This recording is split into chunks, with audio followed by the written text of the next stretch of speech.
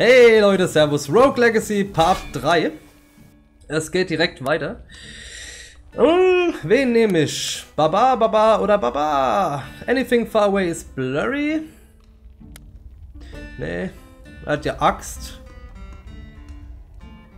Break Stuff to Restore MP. Okay, nehme ich, ist nämlich ziemlich cool in Verbindung mit meinem Bloodsword, das Vampirismus hat.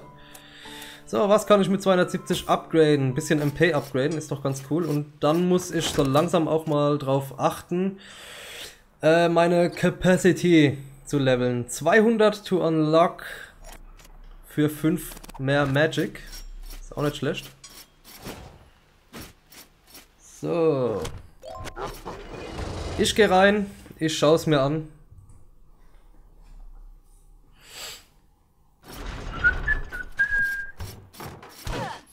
Gut, ähm, der, der Startraum ist übrigens immer der gleiche, falls es euch noch nicht aufgefallen ist. Ich wähle den Weg nach unten. Boah, fuck. Wo bin ich hier gelandet?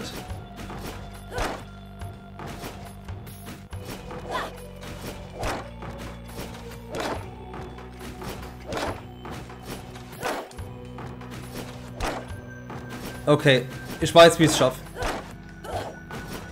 Nee, doch nicht. What the fuck? Gleich zu Beginn.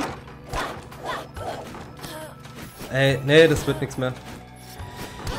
Hopp, stirb, stirb, stirb, stirb. Huh. Ah, nein.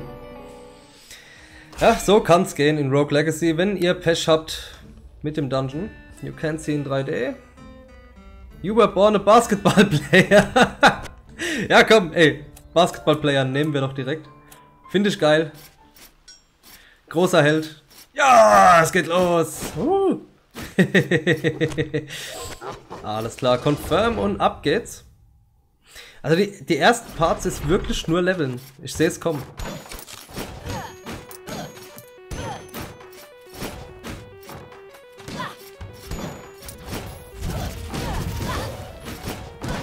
Ja, aber als Basketballspieler geboren zu sein und nicht in 3D sehen zu können. Strength increased plus 1, cool. Ähm, ist halt auch scheiße. Ich meine, jetzt mal ernsthaft, die kann doch den scheiß Ball gar nicht sehen.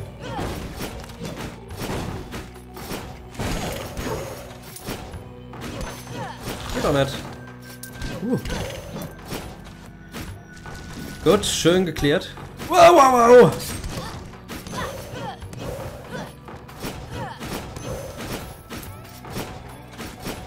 Klar, ich will geradeaus weiter.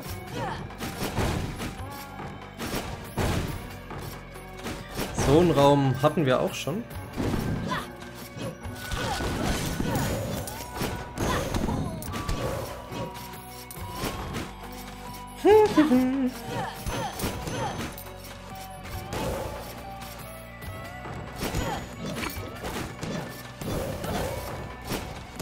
Okay, bis jetzt ist äh, noch alles relativ einfach. Ich weiß nicht, ob es jetzt an meiner neuen Stärke liegt oder dass ich einfach nur Glück habe.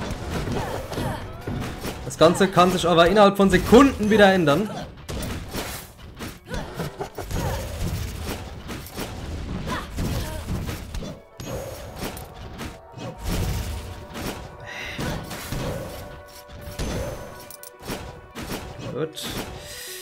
Gold, Gold, Gold. Da bin ich nämlich immer noch extrem scharf drauf. Ist das ein Heilbrunnen oder was? Geil! Coole Sache. Funktioniert aber anscheinend auch nur einmal. Gut, wir gehen weiter nach rechts.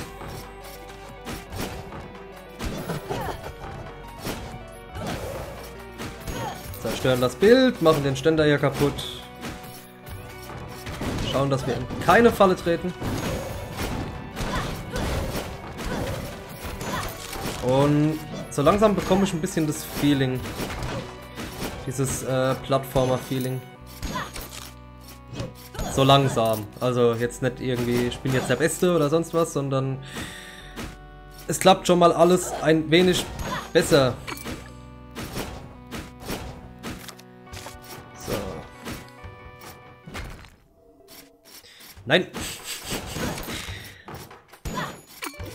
Also bevor ich nicht schon so gute Stats und Ausrüstung habe, dass ich hier den Endboss, what the fuck, erledigen kann, bekommen, lassen wir das auch mal schön sein. Wir gehen wieder an den Start zurück.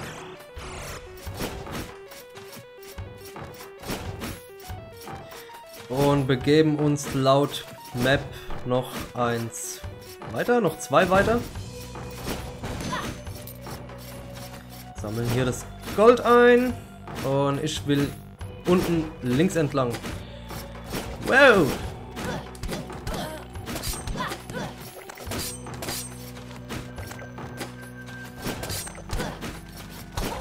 Okay, ich glaube, die restoren ah, ihre HP, wenn man den Raum verlässt. Scheißdreck. Wirklicher Scheißdreck. Wen nehmen wir? Nehmen wir mal wieder so einen Dwarf. A powerful spellcaster. Every kill gives you Mana. Gut, okay. Das heißt, ich bekomme mit Kills bekomme ich Mana.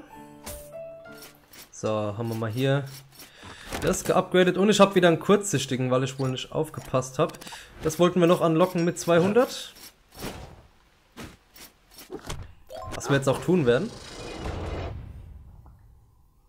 Ich würde nur gern wissen, ob die, die Stat meine Stat mit der Strength 17 jetzt so geblieben ist, nachdem ich sie freigespielt habe, oder ob die mit dem gestorbenen Hero auch gestorben ist.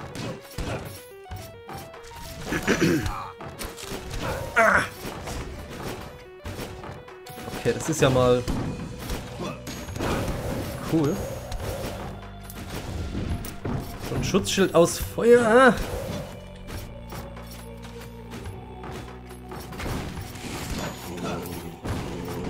Was ich auch cool finde, ist, ähm, fuck, dass man so ein bisschen, ähm,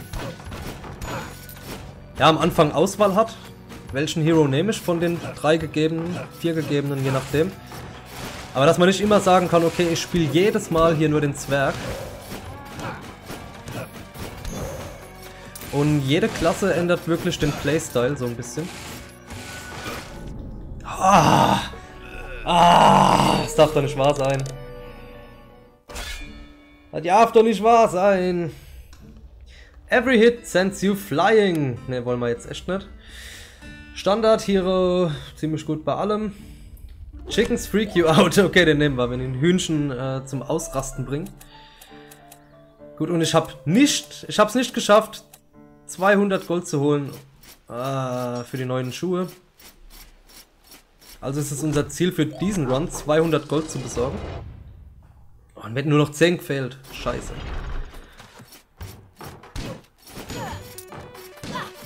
Hundert habe ich schon mal. Ist doch schon mal sehr gut.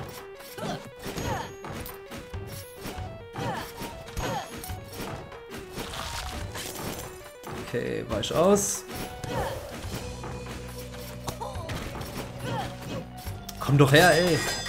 Junge. Ah! ah, das war meins. Ah! Fuck.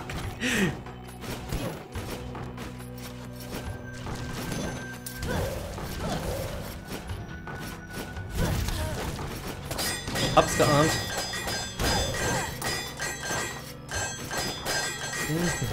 Komm her, du Auge! 190 habe ich schon mal. Haben noch 10. Du Arsch! Ich hau ab.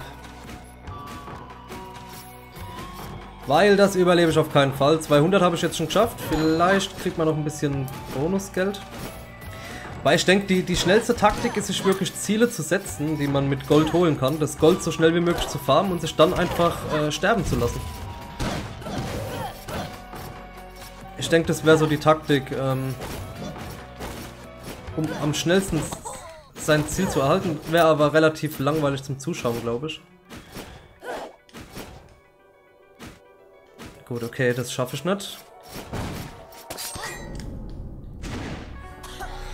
Getötet von einem Knochen. Sprint Runes let you dash. Mit L2 und R2. Coole Sache. Gut, okay, der Held ist mir jetzt gerade mal ein bisschen egal. You are a fan of the man. Weil ich gay bin. Gut, Alles klar, holen wir mal die, die schicken neuen Schuhe. Damit ich mehr Magic hab. Sehr schön. Okay, cool. Ich bin soweit schon mal viel besser ausgerüstet, wie ich es zu Beginn war. Also es ist eine, eine langsam, Strength 17 bleibt okay, es ist eine langsam ansteigende Kurve an Charakterbuilding.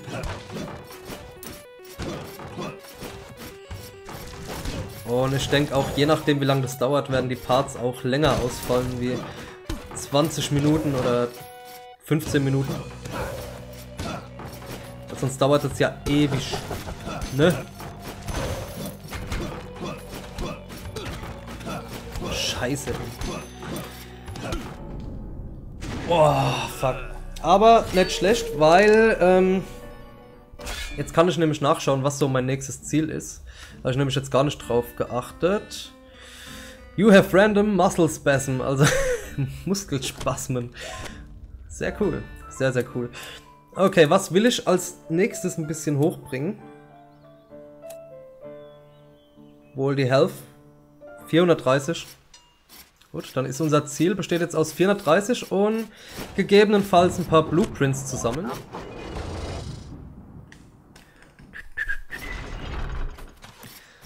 Schauen wir doch mal.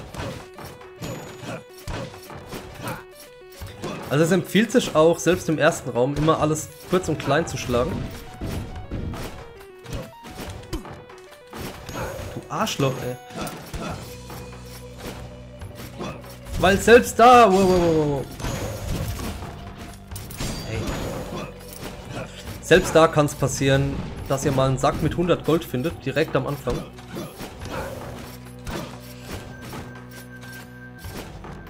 So. Bisschen HP, nie verkehrt. Klar. Oh, hier vibriert es ziemlich stark. Das sind wohl meine Muskelspasmen und der Controller vibriert. Sehr cool. Also das Spiel fängt bei den Figuren schon an, awesome zu sein. Also echter Hammer. Zack. Zack. Zack. Zack. Zack.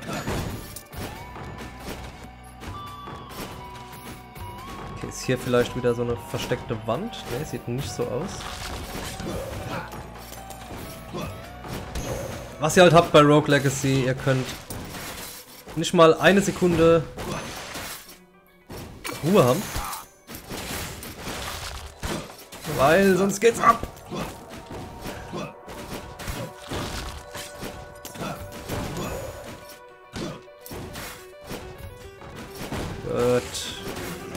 Gerade ein bisschen konzentrieren.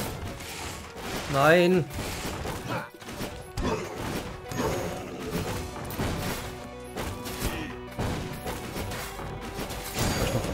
Ja, ja, ja.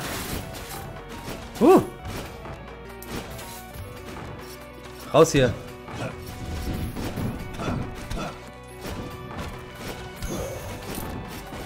Ah, Plattforming vom Feinsten. Ah, scheiße. Und schon abgekackt. Ähm, ich investiere das Gold jetzt in ein bisschen Health. er hat ADHS. und läuft deshalb schneller. Sehr cool, sehr lustig. Jetzt gucke ich mal, ob ich mittlerweile irgendwas Neues zur Auswahl hätte. Ich hätte dieses Schwert, was weniger Damage macht, aber mehr Health. Okay. Ähm, Sonst habe ich noch nichts, worauf ich hinarbeiten könnte, außer mehr Health und mehr Mana. Ich schau gerade mal auf die Zeit. Gleich ist vorbei. Nicht mehr so lange. Ich nehme an nur noch diese Runde und dann ist auch mal gut. Ich habe das jetzt ganz, das Ganze an einem Stück aufgenommen nach einer Session mit dem Raven King. Weil ich gedacht habe, das Spiel ist doch relativ interessant, um es auch mal vorzustellen.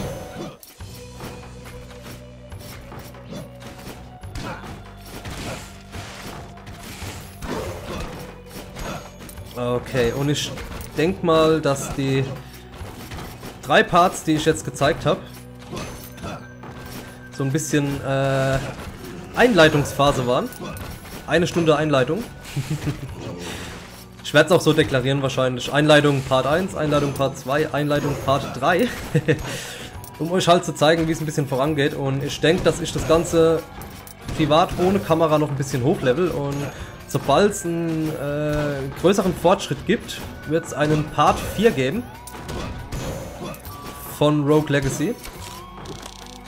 Oh, ich habe ein neues Journal Entry.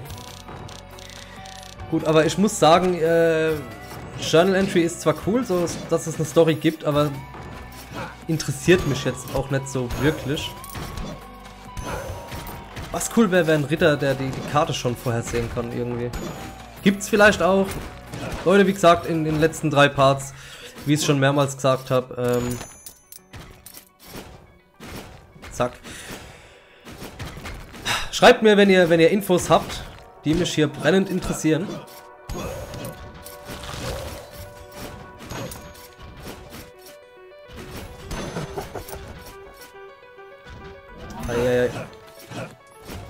Jetzt habe ich nicht geschaut, was dieser, dieser dunkle Materie-Ritter hier mit einem machen kann.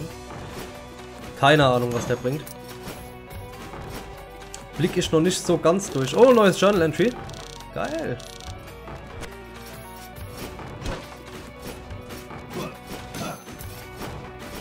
So, 450 Gold.